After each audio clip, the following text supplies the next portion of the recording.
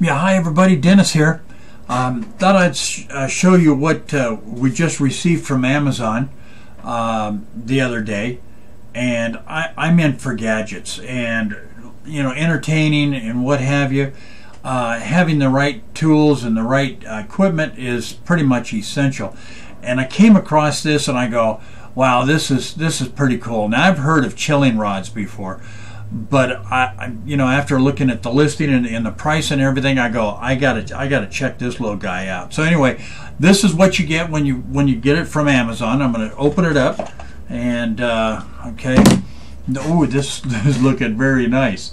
Uh, nice box. I, I like the packaging. So anyway, let's uh, let's uh, undo this little guy here, and uh, it's two pieces.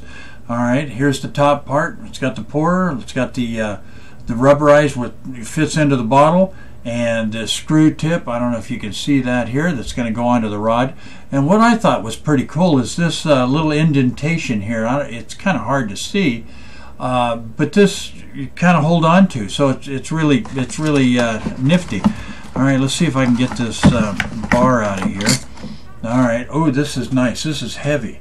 Um, this is the chilling rod and you can't see me hitting it on the table here, but uh, uh, this is very nice. This is from Everest Essentials. Uh, so apparently, uh, I I don't have to have my wife's uh, direction here, but I think I can get this figured out. this is looking pretty slick here. this is this is pretty nice, and this is going to pour the pour the wine, as you can see right here. Uh, apparently, uh, a dishwasher. I don't know if it's dishwasher safe because this is acrylic. Um, freeze. Uh, you could freeze everything. Keep it all in the uh, in the freezer. But anyway, I thought you'd like to see this. I, I can't wait to to uh, try this out. See how this is going to work out. Anyway, thought you'd like to see.